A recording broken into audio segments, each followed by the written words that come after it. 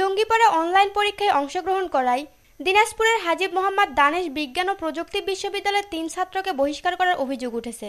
এছাড়াও একই পরীক্ষায় অসদ উপায় অবলম্বনের অভিযোগে আরও দুই শিক্ষার্থীকে বহিষ্কার এবং আরেক শিক্ষার্থীকে নির্দিষ্ট সময়ের আগে খাতা জমা নেওয়ার ঘটনাও ঘটেছে।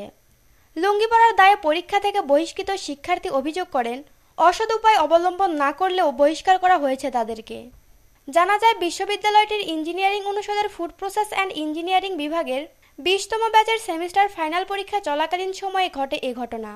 অন্যদিকে ইঞ্জিনিয়ারিং অনুষদের ডিন বলছেন, লুঙ্গি পড়ার অভিযোগে বহিষ্কার করার যে বিষয়টা সেটা মোটেও সত্য নয়।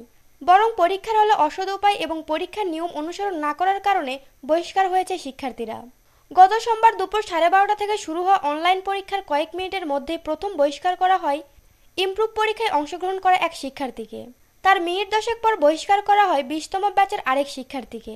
সেই শিক্ষার্থী জানান, তিনি যেখানে বসে পরীক্ষা দিচ্ছিলেন, তার পেছনে জানালা থাকায় পেছন থেকে আলো আসছিল।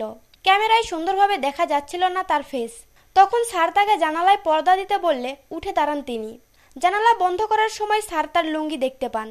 তারপর ড্রেস কোডের কথা তুলে তাকে জুম থেকে বের করে দেন স্যার। পরে স্যারকে কল দিলে জানান তার বহিষ্কার হওয়ার কথা। তিনি বলেন আমার আগে একজনকে বহিষ্কার করা হয়েছিল, সেও লুঙ্গি পরা ছিল। আমিও যেহেতু লুঙ্গি পরা ছিলাম, তখন ওই শিক্ষার্থীর সঙ্গে যেন বেইনসাফি না হয় বলে আমাকেও বহিষ্কার করা হয়েছে বলে জানান স্যার। এদিকে ওই পরীক্ষায় অংশ নেওয়া আরও তিনজন শিক্ষার্থী নিশ্চিত করেন ঘটনার সত্যতা। আশামণি, পণ্ড নিউজ।